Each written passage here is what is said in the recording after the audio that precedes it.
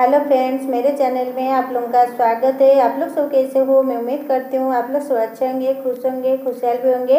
आज यहाँ पर देखिए, मैं बना रही हूँ चना, आलू की सब्ज़ी और आज हम बनाएगा पूरी। तो यहाँ पर देखिए, कितना सारा सब्ज़ी यहाँ पर हम फैला कर रखे हैं, क्योंकि हमारी कल रात को हमारी भंजा और भांजी वो घर आए तो सब लोग लेकर आए थे घर में। यहाँ पर मैं बना रही हूँ ब्रेकफास्ट और देवरानी आकर चाय बना लेगा। वो पूजा के लिए पूजा के घर में था। तो हम फटाफट ब्रेकफास्ट बना लेते हैं।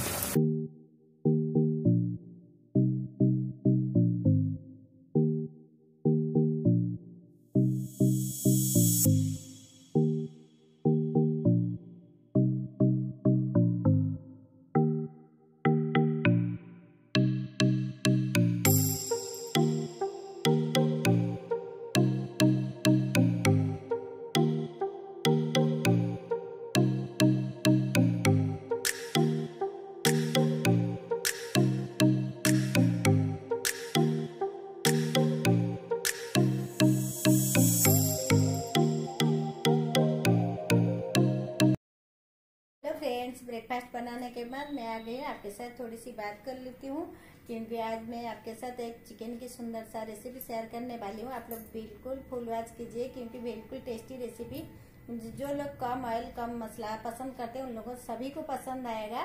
तो वीडियो को फुलवाज कीजिए।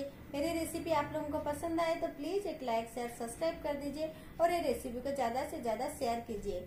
आप लोगों को ज़रूर पसंद आएगा। तो चलिए वीडियो को फटाफट स्टार्ट कर लेते हैं। अब हम चिकन को करेंगे मैरिनेट। एक तेज़पत्ता, दो दालचीन, एक चम्मच जीरा, हरी इलायची काली मिर्च, लौंग, सारी चीज़ को चिकन में डाल देंगे। यहाँ पर आधा के जी चिकन को मैं साफ़ कर चुकी हूँ। अब इसमें हम डाल देंगे दो चम्मच मस्टर्ड ऑयल बिल्कुल टेस्टी रेसिपी आज बनना है। वीडियो को फुल आज कीजिए और मुझे सपोर्ट कीजिए। तो अब हम इसमें डाल देंगे हरा धनिया, कटी हुई टमाटर, लहसुन, हरी मिर्च और घिसा हुआ अदरक, सारी चीज़ को हम अब चिकन में डाल देंगे। बिल्कुल कम समय में, कम ऑयल में, कम मसाला में आज बना बना रहा है चिकन की रेसिपी तो बिल्कुल न्यू रेसिपी आप लोग ज़रूर उसको पस, आप लोगों को पसंद आएगा।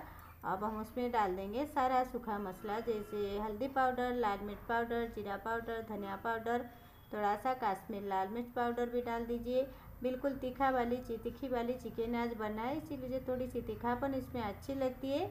आपको जितनी तीखा चाहिए आप लोग इसी अनुसार सारी तीखा चीज़ को डाल दीजिए, क्योंकि सारी चीज़ हम तीखा ही डाले हैं। यहाँ पर एक चम्मच अदरक लहसुन का पेस्ट, कटी हुई तीन प्याज और दो स्प्रिंग ओनियन आपको पसंद है तो स्प्रिंग ओनियन डालिए, आपके पास है तो नहीं तो स्किप कर लीजिए। अब यहाँ पर दो चम्मच चिकन मसाला बस, उसको डालकर अच्छी तरह हाथों में अब मिक्स कर लेंगे। मिक्स करने के बाद हमारी जितने सात चिकन की पीस को ऊपर ले ले आइए और उसको जो प्याज वगैरह सबको नीचे रख लीजिए। इसी तरह करने के बाद आप उसको ढक्कन लगाकर एक घंटे के लिए छोड़ देती है ज़्यादा टाइम नहीं हो तो आधा घंटा के लिए उसको ढक्कन लगाकर छोड़ दीजिए। अब गैस को बिल्कुल धीमा कर लीजिए। अब हम कुछ नहीं करना है, बिल्कुल धीमा आँच पर कढ़ाई को रख लीजिए। अब यहाँ पर कढ़ाई कढ़ाई को हम रख चुके हैं। तो हर पाँच मिनट में हम ढक्कन को निकालते रहिए और चिकन को मिक्स करते रहेंगे। बस इतनी ही हमारी काम। यहाँ पर देखिए, चिकन की कलर भी धीरे धीरे चेंज हो रहा है। कितनी सुंदर दिख रहा है। आप लोग ज़रूर एक बार ट्राई कीजिए। और यहाँ पर फिर से ढक्कन लगा उसको पाँच मिनट पकने के लिए हम छोड़ देते हैं।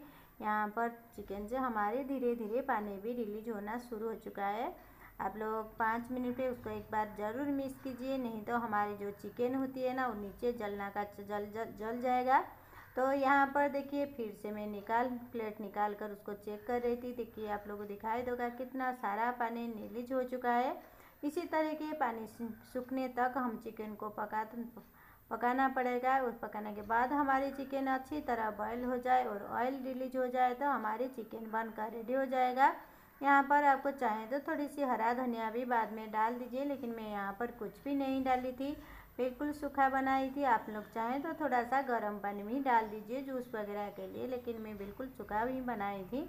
ऑयल हमारी रिलीज़ हो चुका है। हमारे चिकन बनकर रेडी हो चुका है। आप लोग एक बार ज़रूर ट्राई कीजिए और मुझे कमेंट बॉक्स में जाकर कमेंट कीजिए। आप लोगों को रेसिपी ज़रूर पसंद आएगा तो आप लोग ज़रूर एक बार ट्राई कीजिए। कि जो चिकन की रेसिपी मैंने आपके साथ शेयर किया, आप लोग ज़रूर पसंद आएगा। मेरी ब्लॉग आप लोगों को पसंद आया तो प्लीज़ एक लाइक शेयर सब्सक्राइब कर दीजिए। तो आज का वीडियो का हम यहीं पर एंड करते हैं। मिलते हैं अगले वीडियो में। बाय